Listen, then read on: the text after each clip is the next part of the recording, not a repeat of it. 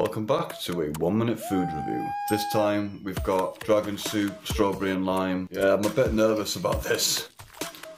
Nope.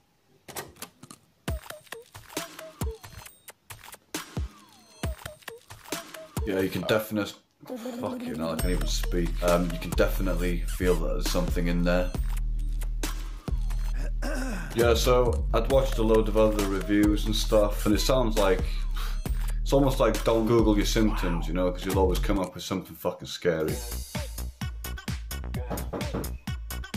Fuck off, mate! Fucking times I could have tell him. Yeah, that was okay. Nice buzz, nice uplift. If you're into this kind of thing, Dragon Soop, strawberry and lime, really nice, nice buzz. One can will do the job. Now, if you'll excuse me, I've got seconds to kill.